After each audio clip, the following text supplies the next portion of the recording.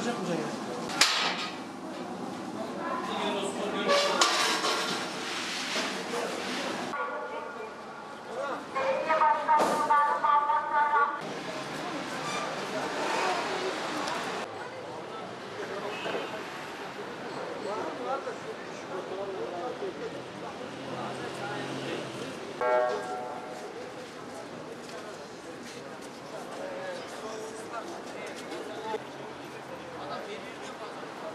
Siyah.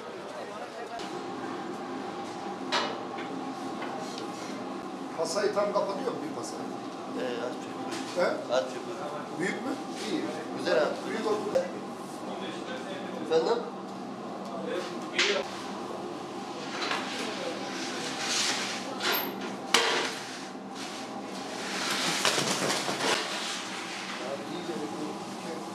Şimdi olay tamamen şu şekilde.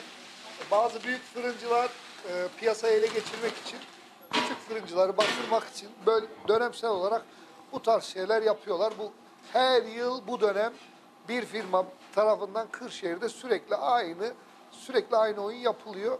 E, biz de bundan müthiş derecede zarar görüyoruz. Aynı zamanda bakkal esnafı da zarar görüyor. Çünkü artık komisyon alıp kar edemiyor. Bu tamamen ve tamamen büyük şirketlerin e, bu bu şekilde devam ederse kimse bir şey yapmazsa büyük şirketlerin eline kalacak ve tekelleşecek bu olay.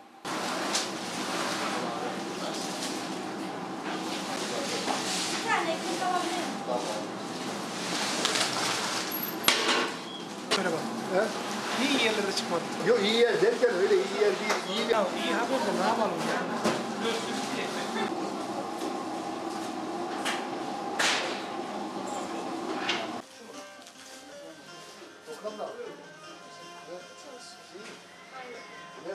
Vallahi bu yönden vatandaşlar ya bu dönemde bir tartışma var aralarında kendi aralarında nasıl tartışma ben bilmiyorum yani. E şimdi bunu vatandaş şeyine geliyor, işine geliyor yani. 70 750 kuruş ekmek. Öte adam da 200 1250'ye satıyor. Ne bileyim ben karman karışık yani.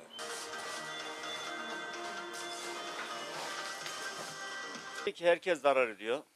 Kardan da zarar eden var. Normal zarar eden de var.